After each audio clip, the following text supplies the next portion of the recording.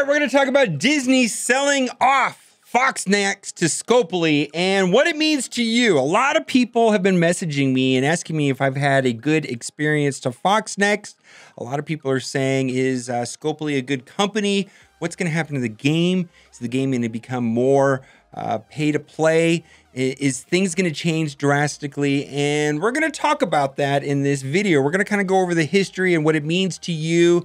And I don't think it's going to be as bad as what a lot of people are saying on the Reddit forums, but we'll talk about it. We're also going to briefly talk about at the end of the video uh, in yesterday's video, we talked about instant upgrade, putting the T4 on Shuri on her special ability for U7. I'm currently no longer recommending that based on some information that I received after the video. So we'll talk about that towards the end. First things first, let's talk about uh, what's happening. Disney to sell Fox video game division to Scopely. And who is Scopely? And I'm familiar with Scopely. I've actually played three of their games.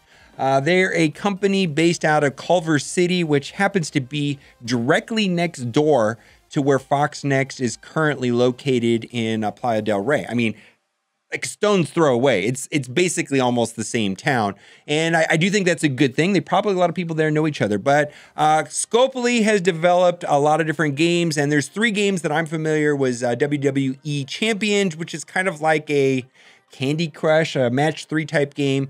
Uh, they also have a game called uh, Star Trek Fleet Command, which is kind of a game like uh, Mobile Strike or, or Game of War. It's kind of a base builder game. And then they also have another game called Looney Tunes Mayhem something, which is basically almost an identical game to that of Marvel Strike Force. It's a hero collector game. Uh, both of these games are loosely based off of uh, Summoner's War and Star Wars Galaxy of Heroes. So, how did we get to where we are today? And I want to say that Fox Next is actually uh, been changed hands many a times. Uh, uh it all starts back with uh, Kabam, and they were all a part of Kabam, and Netmarble bought.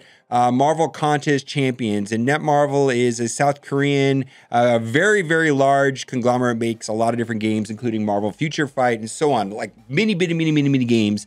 And then uh, Fox Next acquired Aftershock or what is left of Kabam. So basically, what uh, Netmarble did not buy from uh, a Kabam. They basically just wanted the Marvel Contest of Champions game. Uh, what the, what was left over became a company called Aftershock, and then Aftershock was acquired by Fox Next. Now, uh, as you know, or a lot of people know, Disney bought Fox Studios, which basically also included Fox Next, which is the video game division. So currently, uh, Fox Next was owned by Disney, and Disney was very public about not wanting to be in the publication of video games. They've been purging that. So they want to retain the license uh, to uh, to Marvel and uh, the Marvel franchise, but they don't want to actually uh, develop and distribute the game themselves. So uh, the way it stands right now is Disney is still going to be receiving licensing fees from the game of Marvel Strike Force,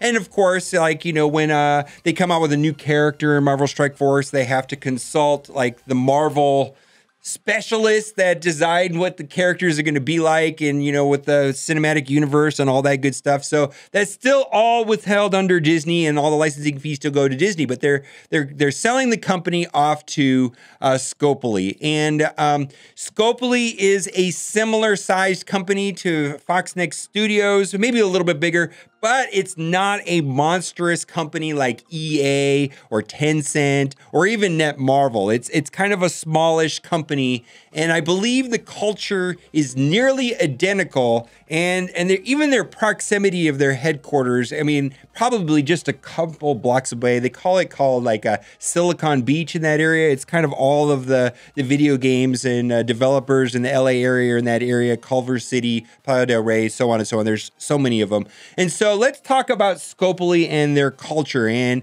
I just want to say that yes, I have made videos about three different games and I've played the games briefly.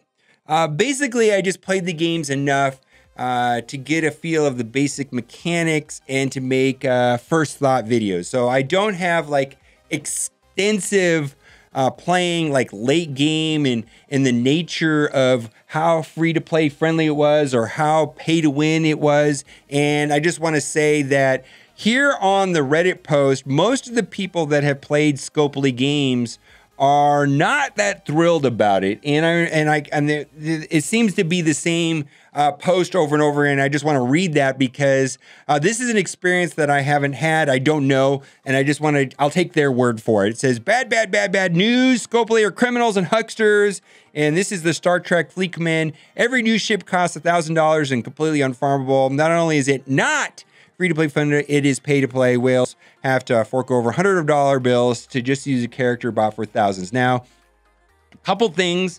Uh, I do believe this is true because I've I've seen this message over and over on all three different games that I've played. Uh, someone talks about the Looney Tune games, and uh, the only thing I could say to that is, what would be said if the the tables were flipped? What if Fox Next bought Scopely? What would be being said right now on the Looney Tunes forum? What would be being said right now on the Star Wars forums? I know what would be saying.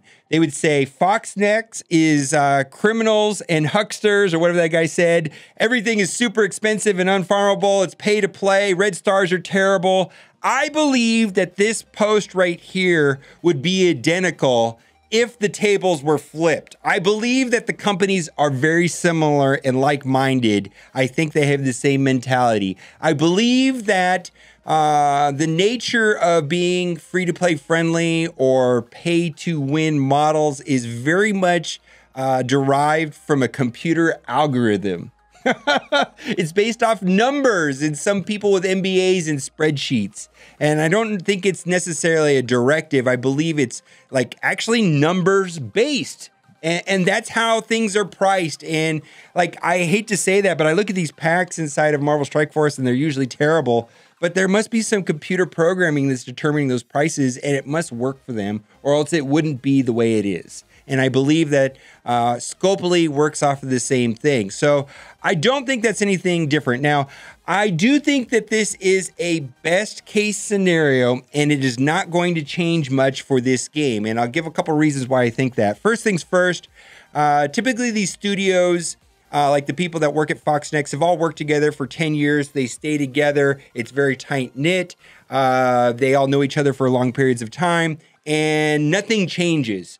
And so, what I'm expecting to happen with Scopely is that they're going to let Fox Next and Marvel Strike Force do their own thing and stay together because the studio already works. And why not, you know, why why fix something that's not broken? Just kind of leave it alone. Now, if they take everything over, that wouldn't happen for at least a year and I don't know if much will change. It seems like Scopely has a very similar thought process that Fox Next has. And we're going to talk about something that I believe was more important was about the Niantic seismic game issue uh, with Marvel Strike Force rather than this.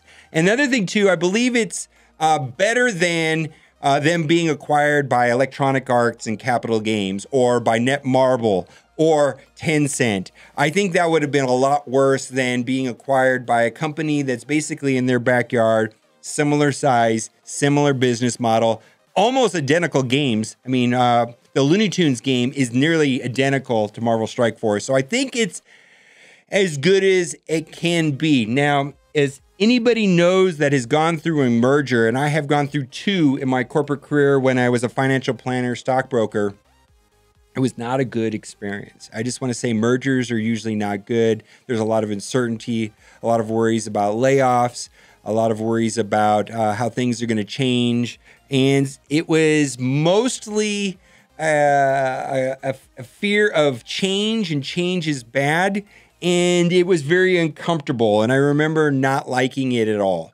And so I think that is going to happen. But Fox has been going through some sort of corporate change as long as I've known them. And we've we're talking about Kabam, Netmarble, Aftershock, Fox Next, Disney. Now it is Scopely. Boy, it has changed names a bunch. And my understanding is that these group of people have all been working together for uh, like 10 years and it's probably changed hands several times. So I think this is a normal thing inside of the video game industry. And I don't think anything is going to change for us, the players, at all.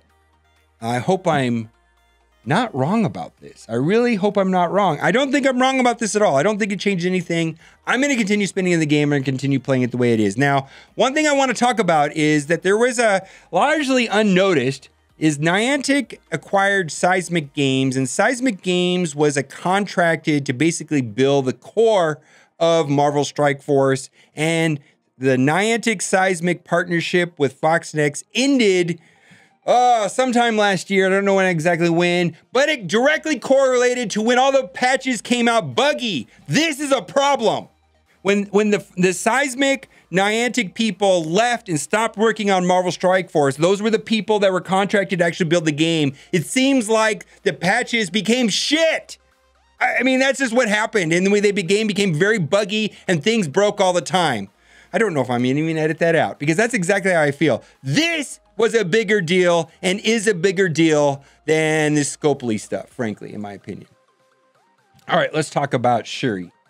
Shuri instant upgrade. Uh, yesterday we talked about this ability right here where it says upgrade ability to level 7, generate ability energy for one Wakandan ally. And the idea was that uh, this is going to help Shuri and decrease her cooldowns. However, it doesn't work the way that I thought it did. Uh, Wakandan Forever says that whenever Shuri gets defense up, she generates an ability energy for herself. So whether you have it at level six or level seven on a team where she is the only Wakandan, it works exactly the same. There is no benefit to getting this T4 in U7 on a team uh, solely made up of Shuri as the only Wakandan. There's no benefit whatsoever. She gets one energy uh, regardless whether you have that uh, a T4 or not. And I just wanted to uh, make that correction from yesterday. Uh, this is a good T4 if you're going to put her on a team full of Wakandans, but on a team where she's the only Wakandan, it does not make a difference whatsoever. This ability energy only goes to Wakandan Ally, does not go to herself, and the ability energy that she's getting is from her passive. All right, guys, let me know what you think about the Scopely thing. I'm not worried about it. And let me know if you have any things that uh, I didn't put down in the comment section. I'm sure there's something missed. And as always, thanks for watching and keep on gaming.